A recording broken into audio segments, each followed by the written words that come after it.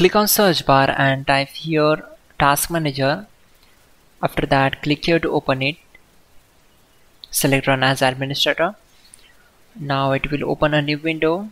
Then select file click on run new task. And from here click on browse button.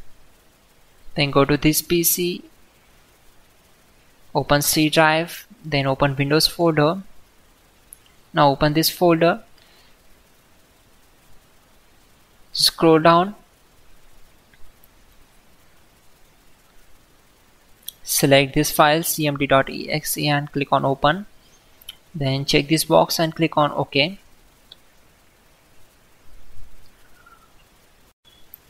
To avoid mistakes we already have list of commands to make it easy for you. For that uh, open Google Chrome web browser then type hows.tech windows commands and hit enter. From now click on this link which is from www.hows.tech now just scroll down and then copy command number 12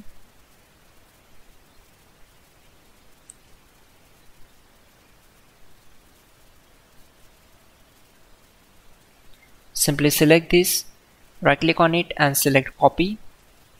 Now right click on command prompt to paste that command and hit enter. After that copy command number 13 now type exit to close the command prompt window. Simply type exit and hit enter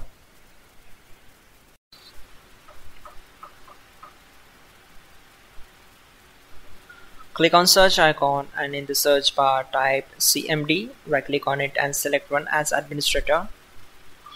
Now on this window, to avoid mistakes, uh, you will get this command in the description below. Just copy and paste on command prompt window and hit enter to execute them. Now go for the second one and hit enter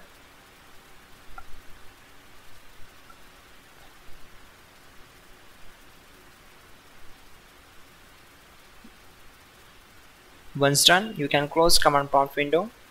Finally, restart the system, which is very important. Before you do that, like this video. God bless.